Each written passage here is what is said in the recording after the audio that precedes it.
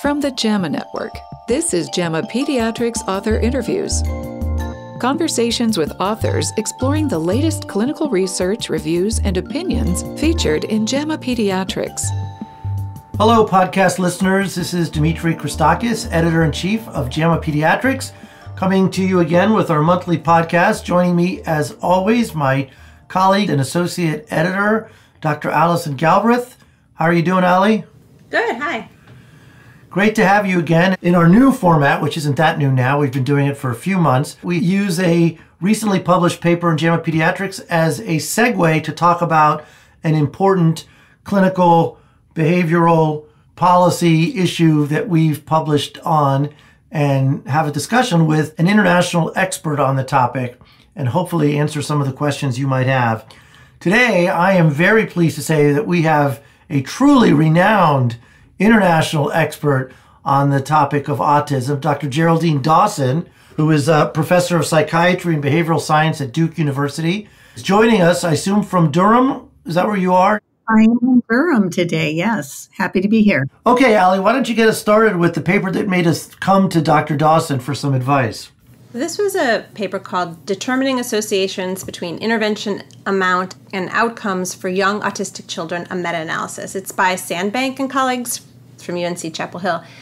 They did this study because interventions like early intensive behavioral intervention or applied behavioral analysis for autistic children are often time intensive, recommending anywhere from a minimum of 20 hours a week to 40 hours a week, but there's not a lot of consistent data to back up those recommendations. These investigators did a meta analysis of the existing trials and also quasi experimental studies to see whether different metrics of intervention amount were associated with intervention effects on any developmental domain for autistic children who were age 8 or younger. These were non pharmacological interventions that they studied. They were across four different types naturalistic, developmental behavioral interventions, behavioral interventions, technology based interventions, and developmental interventions. And they measured intervention amount using three different metrics daily intensity, that was hours per day, duration, total days, and cumulative intensity, total hours over the course of the study. And then they looked at outcomes as gains in any developmental domain like social communication, repetitive behaviors, cognitive, social emotional. So they had 144 studies with over 9,000 children total. And what they found was that none of the models found a significant positive association between intervention amount and the intervention effect size. And that was true across intervention types and across the different ways that intervention amount was measured, so in daily intensity, duration, or cumulative intensity. So their conclusion was there isn't support for the assertion that intervention effects increase with increasing amounts of intervention. And Jerry, before we have you react to the study, maybe we should just take a pause here and talk about how we're going to refer to people with autism or autistic people, whether we use person first language or not. I know that in general medicine, there's been a very strong movement towards using person first language, but autism seems to be uh, a little more complicated. Can you tell us what you think of that?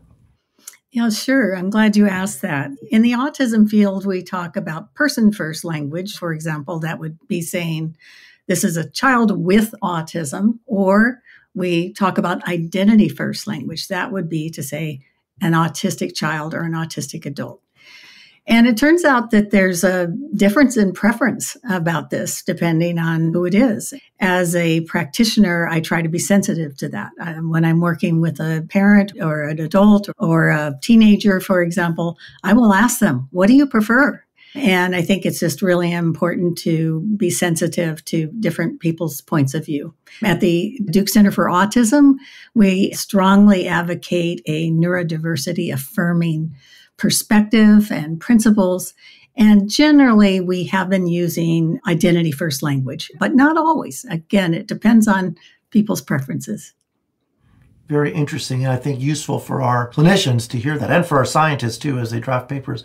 I thought it might be helpful if you could say a little bit about the different types of these intensive treatments. I'm familiar with applied behavioral analysis, but I wasn't sure what necessarily some of the other types of interventions they were referring to. Yeah, so they they actually studied several different kinds of interventions. I think most people have heard of applied behavior analysis or ABA. That's been around for a long time. It's a very traditional sort of structured approach, often called discrete trial training. Then they also included something that's called naturalistic developmental behavioral interventions, often called NDBIs. There's growing literature that supports the efficacy of these interventions. There's many versions. For example, my colleague and I developed the Early Start Denver model. That's just one of those interventions. There's many others. They also looked at developmental interventions. They looked at technology-based interventions. Yeah, what would that look like? Often these are ones where children are interacting on a tablet and getting practice, for example, in learning vocabulary or other skills. I thought it was a bit unusual to clump those in with the other interventions, but I think the main question that they're asking, I think it's really an important one, is is more better? And you know, your pediatrician, for example, and one of your patients was just diagnosed with autism. The first question that a parent might ask you is, how much intervention should my child get? How much do they need? parents worry about this and they think that, oh my gosh, if I don't have this many hours, then my child's not going to have the best possible life, the best possible outcome. So it's a really important question. They found that it really didn't matter, which at first blush you might think is surprising, but actually, I was not surprised. Why were you not surprised? Well, there's a couple of reasons for that. First, we have to keep in mind that all of these studies were probably operating within the recommended ranges of intervention. So we're not comparing, for example, one hour of intervention to 30 hours of intervention, some sort of systematic way. And the other thing is the studies, most of them weren't designed specifically to address the question of intensity and how it affects children's outcomes. So I'm not surprised. The second thing is that actually most professionals believe that the number of intervention hours needs to be tailored to the individual child and family. And that's going to vary depending on the child's characteristics, on the family's values and how they want to structure their life. So there's many factors that go into that. Now obviously there's some floor. I think we all believe that intervention is helpful. There's a good strong empirical base for that. But how much do we need for an individual child and family? I should also point something out that I think is an important factor that the authors actually discuss. And that is that many of the interventions, for example, those naturalistic developmental behavioral interventions or NDBIs, they involve a strong component of caregiver coaching of using strategies at home. And we think this is important because if we teach children skills in a very limited context, working only with a trained therapist, they're not going to be able to generalize these to the natural environment. If parents learn strategies that they can use during everyday activities, so for example, when they're giving their child a bath or when they're at the dinner table or actually at the playground, then the child is learning to use these skills in their natural context. But they're also getting intervention hours, right? These actually qualify. And those kinds of hours weren't captured so, as professionals in the field, first of all, we want to tailor the intervention to the individual child and family. And then we want to think about intervention as not sitting down with a therapist and just doing a structured activity, but really what is the quality of the child's life in general? Are they having ample opportunities to learn the skills that they need to learn in a lot of different ways? Yeah, one thing I thought was interesting is having a lot of time for an intervention actually have negative effects. For example, taking time away from natural opportunities to have social interaction or inclusion. Now, what if you could speak a little bit about that? Because if you're doing 40 hours a week, what are you not doing in that time otherwise? I have concerns about the old model, which actually stemmed from a, a very old study that was conducted by Lovaas, where they delivered 40 hours of intervention and then reported positive outcomes. Now, that study was not that well designed, and so there's been criticisms of the design of that study. But people, unfortunately, took that to mean that we need to be providing 40 hours of intensive intervention to get the best outcome. And if you think about what that means for a two year old child and their life, and also the family, think about the impact on the family in their everyday life. That recommendation has not been upheld by most professionals for quite a long time. So people do talk about 15 to 20 hours of structured activities that would facilitate learning. This could be those hours that the parents are interacting in a fun way during recreational activities. It could be a preschool, it could be working with an occupational therapist, a speech therapist, as well as working directly with a trained therapist. I agree that the idea that children would be in intervention for these very long hours. I have often wondered when are they taking their naps? If they're two, yeah. Right. They're two. they're three years old. So you spoke a little bit about the heterogeneity of the families and of the children, and I thought you were going to talk about the heterogeneity of the delivery itself. Is it fair to tell parents that if you're getting ABA by a licensed person, you are getting the same quality whether you go to Duke or you go to somebody who claims that they do it? Is that a legitimate concern? Is that might that explain also why it doesn't seem like there's a dose response or not? Well, I don't know if it explains why there's not a dose response in this particular meta analysis, but I do think the question that you're raising is very important, which is how do you assess the quality of the intervention that you're getting? And there are some important features that parents should look for. First of all, they should look at the training of the individuals. Have they been trained in the model that they are purporting to deliver? Secondly, typically the child is working with less trained people who are supervised by a highly trained person. So the question is how often are they meeting with that supervisor? Are they getting high quality supervision? Third, are they collecting data and monitoring the child's progress? Because at the end of the day, there's two things that parent needs to think about. One is what do I care about in terms of outcomes for my child? What are the things that I value? What are the things that I want to see happen? And second, closely aligned to that is how am I going to measure progress? And are they actually collecting data and telling me and showing me? And am I seeing the benefits? If they aren't constantly adjusting the strategies depending on the rate of progress, then I think that is also not a good sign. And then finally, it's very important that parents and other caregivers are involved in the therapy itself. So the idea that you say leave a child off and you don't know what's going on and then only therapy happens in that context is a very old model that we just don't use anymore. We want parents involved. They're part of the therapy session. They're using the strategies at home. They're weighing in on what the priorities and goals are. So active involvement, transparency, data collection, high quality supervision.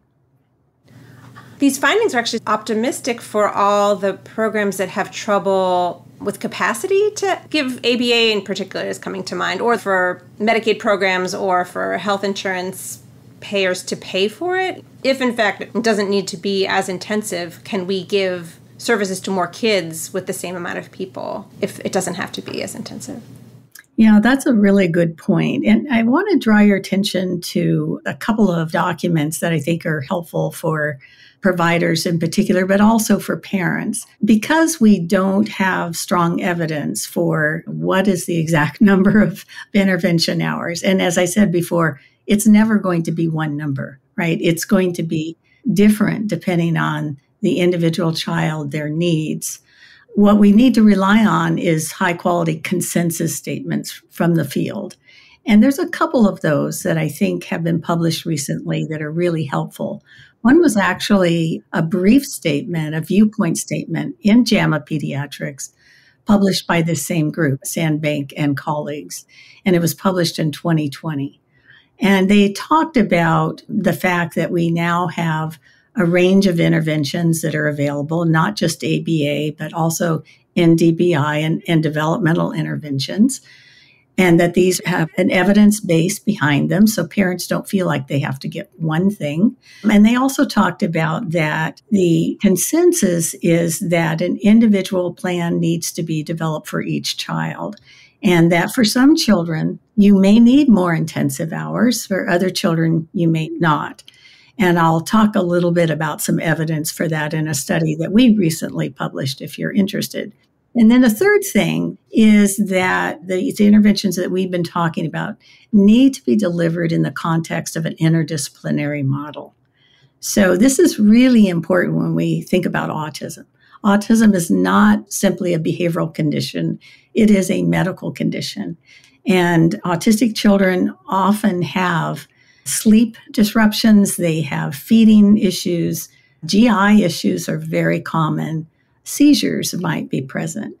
And we know that when these medical issues are present, that the child is not benefiting from the behavioral approaches and they can cause really an impact on quality of life. When we think about developing an intervention plan, we're really looking at an interdisciplinary team that involves the pediatrician.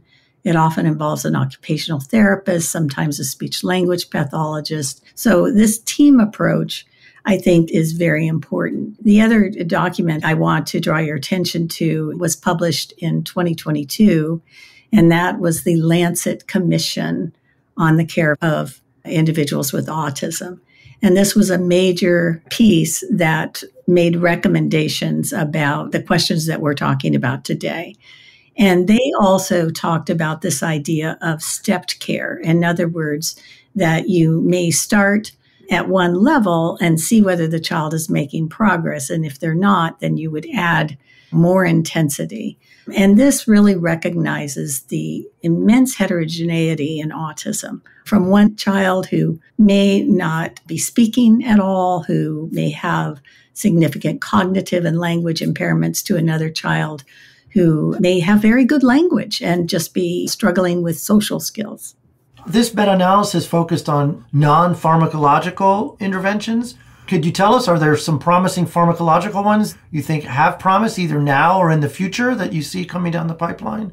Well, it's still a very active area of research, and there are clinical trials that are being conducted or the results have been published, such as the large trial on arbaclofen. The results were not fantastic in terms of showing efficacy on their primary outcome. And I think most of the medications that were designed to address what we think of as the core features of autism, so difficulties, for example, in social interaction. So far, we have not been able to develop any kind of pharmacological approach that addresses those core features. However, when we think about uh, some of the other areas, such as behavioral challenges, and we have antipsychotics, for example, that we can use for that, or these medical issues that children present with. For example, for sleep, there are behavioral approaches such as sleep hygiene approaches, as well as something like melatonin has been recommended.